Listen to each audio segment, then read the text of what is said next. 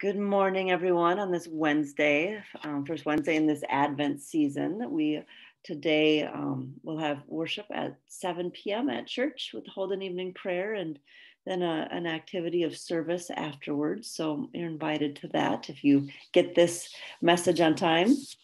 Um, if otherwise, um, encourage you to dwell in the Word in this time of Advent as we um, are prepared once again and are given once again that word of Christ in our midst. I'm jumping the gun. So we gather this morning in the name of the Father and the Son and the Holy Spirit. Amen. I thank you, my Heavenly Father, through Jesus Christ, your dear Son, that you have kept me this night from all harm and danger. And I pray that you keep me this day also from sin and every evil that all my doings in life may please you. For into your hands I commend myself, my body and soul, and all things. Let your holy angel be with me, that the evil foe may have no power over me. Amen. Satisfy us in the morning with your steadfast love, O God, that we may rejoice and be glad all our days. Praise to the blessed and holy Trinity, one God, who gives us life, salvation, and resurrection. Christ is risen. He is risen indeed. Alleluia. Give glory to God, our light and our life. O come, let us worship and praise. Be still and know that I am God. Well, we are in our daily grace, and I'd love to hear your opinion. If we could, we did, we started this kind of mid-year. If we want to find a book for 2022, can you believe I'm saying that? Or what we'd like to do today is by Daryl McDavid, and our text is John 1 1 through 2. In the beginning was the Word, and the Word was with God, and the Word was God. He was in the beginning with God. Our God is a God of words. As human beings, we know the power of words. We are unique among the animal kingdom for our ability to speak, to write, and to enclose as much as we can of the human heart in permutations of rather odd looking symbols. Being made in God's own image means that there is power and wonder in words. The Gospel of John begins with an exquisite example of literary parallelism, the three independent clauses with their rep- repetition of the word. Bring gloriously as we build gloriously as we learn when the word was, where the word was, and finally, who the Word was. The Word was God Himself. With verse 2, the structure becomes what English teachers who take themselves too seriously, guilty, like to call a chiasmus. A chiasmus is a rhetorical structure where the second half of the parallel sentence reverses itself, as it often started with an X. In the beginning was the Word, and the Word was with God. X, the Word was God. He was in the beginning with God. The chiasmus is also named for the Greek letter chi, often written as an X. Chi became a particularly popular letter for decorating medieval gospel manuscripts because chi and rho, shaped like a P, were shorthand for the name who most famously bore those letters at the beginning of his name, Christos.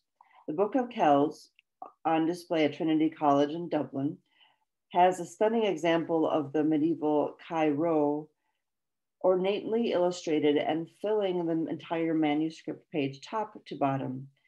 At the most basic structural level, within the filament of the sentences themselves, we see God cry out the truth of his Son, the revelation of the glory of Christ. The word became the man, the name of a man. The word it became flesh because words are not enough to save us no matter what stories we tell and what songs we sing, there's only one power in the universe strong enough to bring us back to the beginning. In the end, the X or the Chi turned on its side to become the wood of the cross. So X becomes Christ hung on the beams and breathed out his last earthly words for our salvation from the beginning of time to the end of the ages. So, a little fun little fact here when we say Xmas, we're actually not wrong. we have done so much work to say that's so wrong. You shouldn't abbreviate Christmas. Well, it's actually just using the Greek letter, chai, chai, or um, for Christmas. Chi-Rho is Christ. Interesting, isn't that? So we aren't wrong, even though I think we don't know why we do that, right? It feels like we're just abbreviating, which we are, but when you don't know what you're abbreviating, it feels like you're taking Christ out of Christmas. And that, oh, that is something that will make people angry. Um, all of our Starbucks fights over what's on the holiday cup here in Starbucks land. Um, and, and how are we supposed to properly um, celebrate this season as Hanukkah began on Sunday. We are in the midst of Advent. Uh, it's such a complicated time. I do find it curious, and I'm just going to be controversial today. So, that at the kids' school, they can talk about Hanukkah, but they can't talk about Christmas. The teachers can't. I do wonder about that, and uh, and how um, sometimes we are so sensitive that we are um, we don't give equal footing to everything. It's a curious thing when a dominant part of culture becomes something that because of dominance is looked down upon. We do that a lot of um, in order to lift up the um, other other holidays other other beliefs other cultures other systems we diminish or we silence another and almost make it as if that one has something wrong with it. That person that thing that um, that season that culture needs to be muted needs to be erased in order for others to have space. And i so wish there was another way to do it. Because it's bringing such heartache it's bringing such pain um, when when that is projected onto identity, projected onto things that we can't change about ourselves, circumstances that were out of our control. Awareness is not enough anymore, it seems. We must turn that that on ourselves into a like a hate loop of ourselves. And I'm sick of it. And it's hard to be hearing it and it's exhausting and it's not the solution to um, focus on just erasing or deprecating or silencing um, in order to create space. How, how to do it better? I don't have the answer for that either. Um, and we do need to do it better. But right now we're, we're transvaluating, and that just isn't helpful. So as you have your Starbucks cup and whatever flavor it is, um, whatever is on those cups this year, I don't even know. It's kind of like the pumpkin spice permeation in all things and in all people that everything ends up, even the joke that we should have pumpkin spice communion wafers. That just seems so horrible to me in so many ways. Um, peppermint Christmas ones. I mean, we can be heretical, right? but back to here about other than the abbreviation of Christ as Xmas, um, Christmas, if you read it in Greek, the Mass, I don't, Mass is, of course, the Mass of Christ. The Mass is the Catholic worship. The, um, the elevation of Christ in worship um, is Mass, part of that. Anyway, we are in words and we can get lost in the words right? We can get lost in the in the abstract.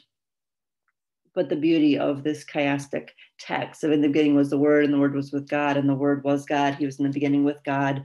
There is a beauty in john in these first verses a beauty in the greek a beauty in the literary piece of showing just how intentional god is in the creation of the universe through Christ, the word that is spoken, in the written word, and in that word coming to us, known to us as a who.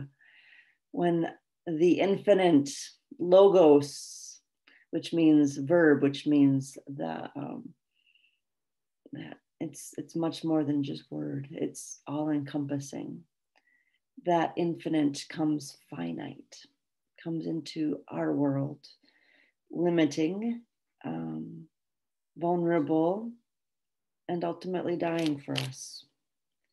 There's a beauty in that, but the beauty is not in just the word reverent, um, the word revered, the Bible set up on pedestals. It is in the digging in and the saying, This is for you. This God came for you and for your neighbor and for the ones who don't believe the same that you believe. How do we do this? How do we share our faith that Christ is the way, the truth, and the life? And also not create that deprecating, painful trudge of history over time. That humbleness is needed, that understanding is needed, and also the trust that God finds a way, and you might be the way into somebody's um, heart as you share the story of Christmas. When I was first coming, came up to the States after being in Guatemala to um, serve in a church up here, we did a, um, a time of uh, VBS for kids where we did the Christmas story.